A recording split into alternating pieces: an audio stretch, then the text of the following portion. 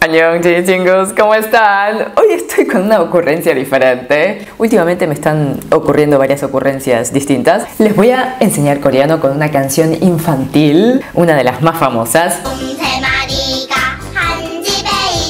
Porque sé que ustedes tienen todavía el corazón de niños, o tienen hermanitos, o sé que muchos chingos también tienen hijos. Saquen el niño que tienen adentro y ya empezamos. Me hace recordar aquellos comentarios que decían que el Genie pareciera que enseña a chicos de jardín. Bueno, hoy me va a salir a full esa parte. Así docente, maestra de jardín, así que prepárense. Y se lo digo a ustedes que comentaron eso.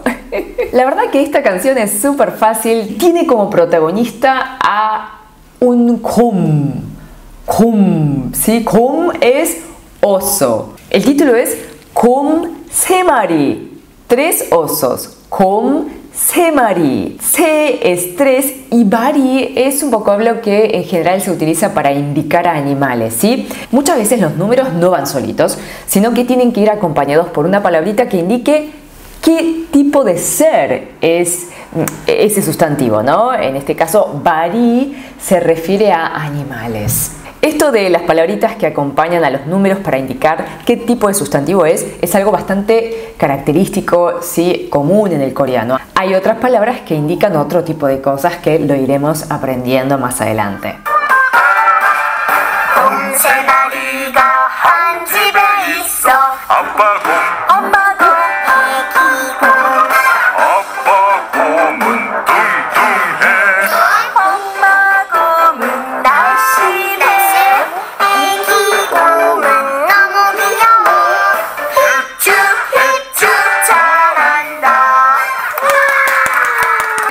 que esta es una canción pero tradicional, es un clásico, creo que no hay niño coreano que no cante básicamente esta canción. Home, oso, se variga, han chibe iso. Chip es casa, ¿sí? Han chip es en la misma casa, hizo verbo estar, ¿sí? Tres osos están en la misma casa. Apagón el papá oso, omagom, mamá osa, ekigom, ekigom es el bebé oso.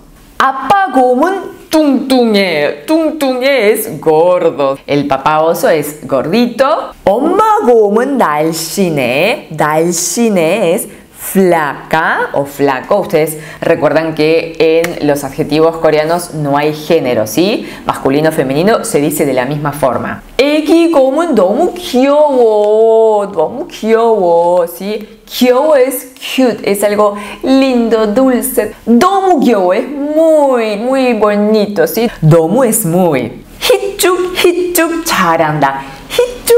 Ichuk es, a ver, ¿cómo lo explicamos? Vieron que hay algunas palabras en coreano que realmente son difíciles de explicar en español y esta es una expresión que de hecho en Corea hay muchas expresiones para describir ruidos, describir gestos, muchos son onomatopéyicos, pero esto de Hichuk, Hichuk es cuando uno sonríe así como no es una sonrisa completa, sino es como una sonrisa a medias, pícara. Quiere decir que este osito bebé hace gestos con picardía, así sonrisitas, ¿no? Mm-hmm. Bueno, explicada la letra, ¿qué les parece si cantamos de vuelta juntos?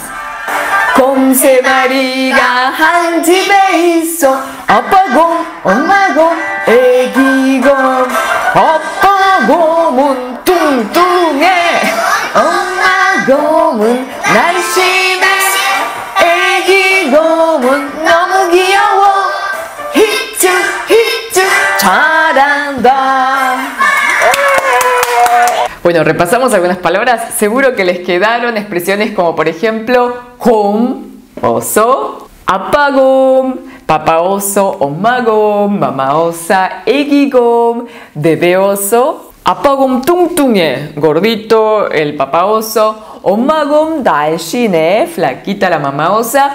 Y el bebecito, 너무 귀여워. Sí, muy bonito, 너무 귀여워. bueno, la verdad es que me di el gusto yo, me divertí más yo que ustedes, me parece, con esto. A ver quién se anima de mis chinichingus a cantar esta canción. Sí, sí, sí. Sí, ustedes lo pueden hacer, seguro. Me lo manden en video a gmail.com o lo suben a sus stories y yo lo comparto. Bueno, chingos, la verdad que, como siempre, una clase es una cita, es un espectáculo, la pasamos súper bien. Espero que les haya gustado porque lo hago sinceramente con muchísimo amor y cariño. Hoy me salió, la verdad, así del corazón esta, eh, esta cosa de Ginny Maestra. Si ustedes lo sintieron, voy a agradecerles su like y a que puedan suscribirse en el canal si todavía no lo hicieron. Y espero sus videos, tanto al mail o a Instagram. Cuídense mucho, como siempre les digo, sí. Nos vemos en la próxima. Tashi